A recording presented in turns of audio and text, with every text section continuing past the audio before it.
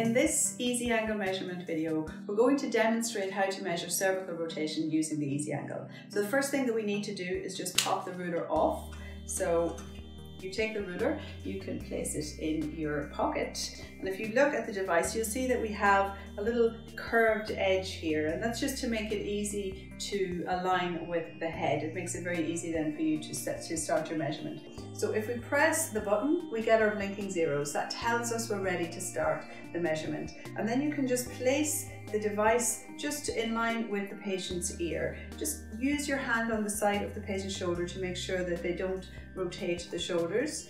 Press the button to start the measurement and then have the patient move to their maximum range. You press the button again and you get the measurement right here on the device. And this is demonstrated in our poster right up here in the top left hand corner.